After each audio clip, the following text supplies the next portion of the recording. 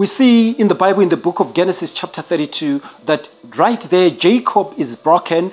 Jacob meets and has an encounter with God, and he is broken right there. And we need to be very clear that God was right, rightly aggressive with Jacob right there. Jacob was trying to defend himself, but the Bible makes it very clear that it was a war. It was actually a battle that Jacob was having with God.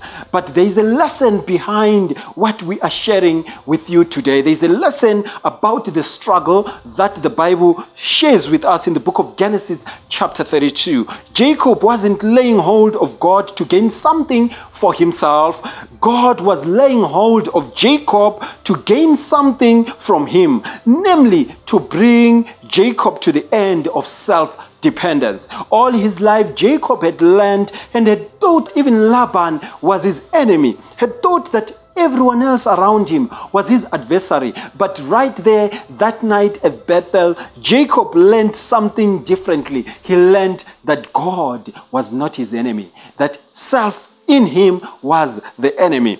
He struggled, he had schemed, he had, he had been challenged in his life, and, and, and God needed to break him in order to make him. And so, as he wrestled with God that night, God wanted to teach Jacob what it means to depend on him. Actually, what I want to say to you is that the battle of what Jacob was fighting was not against God, but was against himself. And he needed to overcome the battle against self. And also, we, we learn that the greatest battle that we are ever fighting in our life is against self. And I want to say to someone today that whatever battles that you are fighting in your life, remember, it is against self. It is not against your, fa- your father. It is not against your brother. It is not against your sister, but it is against yourself. The problem problem is not your wife. The problem is not your children. The problem are not your parents, but the problem is deep down within yourself. And so, as you fight that battle, it is because